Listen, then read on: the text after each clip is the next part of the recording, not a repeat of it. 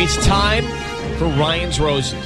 We're looking for Angie, and I think we've got her. It's time for Ryan's Roses. And Angie, thank you very much for sending us an email. I just want to bring Sisanie up to speed on some detail here before we get into it, but She's in Culver City. She says, Dear Ryan and Sisanie, I've been watching the way my husband and our married neighbor interact, and it's always very secretive and flirty. The other day, as I was pulling up into the driveway, my husband was talking to her while watering our front yard. As soon as she saw my car, she scurried back into the house. This happens a lot, and there seems to be something between them besides just being neighborly to each other. So that is that is an uncomfortable feeling that is way too close to home. Of course. Angie, are you there? I am. Hi, how are you? Hi, we're okay. Have you I'm just curious, have you considered going to the neighbor's wife's husband and saying you think something's going on with his wife and your husband? You know, I've, I've talked to him, and um, I mean, David's a really nice guy, but I'm not really close to them, and you know, we've got a toddler and their kids are in high school, so it's not even like our kids hang out where there would be a connection there. I mean, I've, I've talked to David a few times, but not not before all this. It was all before all this weirdness started happening. How could they be pulling this off? I don't know. My husband's a smart man. Um, but there's just something. I mean, there's no smoke without fire, right? And so there's there's just every time, every time she sees me, she scurries like a scalded dog. I mean, she just takes off. How And, long how uh, long have you been married? We've been married about seven years. How close are you to these neighbors? Not, not at all. I mean, I've maybe said hello to Nicole before she started acting completely weird. Her name is three or Nicole. four times. Yeah. I, I, can you hang on? We're going to come back. Can you hang on? Sure. She sounds very upbeat for her husband potentially cheating on her, doesn't she? I wonder if she's setting him up. I, I, there's something. I don't know. I, Huh. Maybe I'm making. played? I don't know. Maybe I'm making this up, but what do you think? Yeah. I'm with She you. Something's off. sounds- Something's off. She sounds way too enthusiastic about catching him than normal to me. Mm-hmm. Mm-hmm. I mean, we've talked to hundreds of people for Ryan's Roses. So what do you want to do? Patty has a theory. Maybe she's not really the wife. I mean, we've had incidents yeah, like that. where they come in and they fake and they lie to us. So who could she be? Nicole. So she. I've already lost other names. It's, Well, wait, Nicole's Nicole the would be the neighbor's wife. Why would the neighbor's wife call us to pretend to be? because maybe the husband, Angie's husband, told Nicole like, "I'm going to leave Angie and be with you." Oh, yeah. Wait, hold on. For I need to understand this. So maybe Angie's husband told Nicole he was going to leave Angie to be with Nicole. Maybe, and so then the neighbor wants to know for sure if he's in. Oh no. I mean, I don't know. Could we just do it maybe and see? Yeah. You don't want to do it. I can see it in your face. I do want to do it, but I'm telling you something's not right. I know. All right, let's come back and try this in a second. So we have Angie, who we were told is married to uh, her husband of seven years. She thinks her husband is having an affair with the neighbor, Nicole, who's married and they live across the street. I have a feeling something is, we don't know. I don't, like, it's possible that it's actually, it is Nicole that's saying she's Angie. Why don't we ask her right now? Hey, why are you so peppy? Hey, Angie, are you really Angie married to your husband, uh, living across the street from Nicole? Yes. We feel like you What? sound you sound way too enthusiastic about catching your husband cheating, so we think you might actually be Nicole. Are you Nicole? No. Okay. No. I just want to know the truth because I know he's lying to me. After And if you found out the truth, what would you do? Yeah. Well, I mean, it depends on what the truth is. If the truth is, is that he's not cheating on me, then I'm going to apologize and I'll just own my mess, but I know he is. And if the truth is that he is cheating on me, then I may have to make a decision to end this marriage, and I'm definitely going to have to make a decision to go kick that girl's butt. So, And do you think there's a possibility that he is with Nicole and promised he'd leave you for Nicole? You know what? At this point, normally I would say no, but he's been acting so weird. I, it wouldn't surprise me. I mean, if he wanted to break a promise to me and and lie and be a complete dog, that wouldn't surprise me. No, it wouldn't. Okay. We are going to call this man that you say is your husband. We're going to offer him some roses and we will find out if he sends them to you or to your neighbor who's married, Nicole, or anybody else. I need you to say, Ryan, you've my permission to call and then whatever his name is on KIIS FM. Okay, Ryan, you have my permission to call my husband on KIIS FM. Tiffany?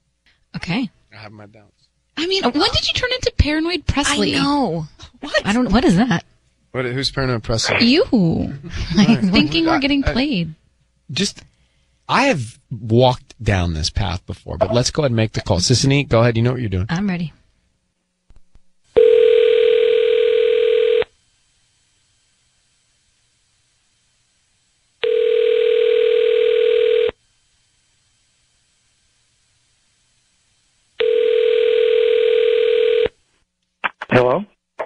I'm looking for Eric.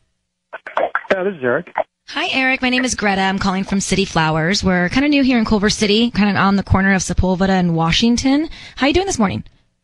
Good, yeah. I'm calling because we're promoting our delivery service. So basically, we're giving away a free dozen red roses. You can send them to anybody that you would like today, and they'll receive them by lunchtime or in the evening, whatever is better for you. Um, they're absolutely free. I don't need credit card info, anything like that. You're giving away a dozen roses? Yes, dozen red roses. I can change the color if you'd like, but we usually do red. You're, that I can send to somebody or? Yes. So you just give me the name of the person you want to send them to, and then we can even put a little note on there, and then they'll receive them as early as lunchtime today or any other day. Tomorrow works better. Yeah. Um, wow. Yeah, the timing couldn't have been anywhere perfect. I, uh, honestly, thanks. I appreciate that, but, um, no thanks. I, uh, Oh, are you at this sure? point I've got, yeah, I, I, I've got nobody to send them to. Man. Yeah. Thank you anyway, though. I appreciate it. Eric, Eric, I need you to know your voice is being broadcast on the radio. This is Ryan Seacrest. That- That is Sisanie. Are you married? Who's this? My name is Ryan. Are you married? Yeah. Who are you married to? Who- Eh, What? Angie? What's your Angie? Angie, can you speak? Is this your husband? Oh, I can speak, and that's him. And I want to know why he said he doesn't have anybody special to send any roses to. Is that your wife? Yeah? What, Angie? Well, So they offer you roses, and you're not going to send them to your wife? That just tells me everything I need to know. Are you serious? You you don't you don't know why I'm not sending you roses? No, I don't. I know, and I'm actually kind of surprised you're not sending them to Nicole, since you seem to want to spend all your time with her anyway. Uh, hey, back it up. Back it up. You Eric. and I both know the reason I'm not sending you flowers. You're the reason I'm not No. sending flowers. Oh, that's nice. That's really nice.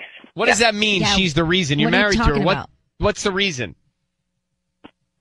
She knows. She knows the reason. And why is she even using you guys, the radio station, to have this all come out like this?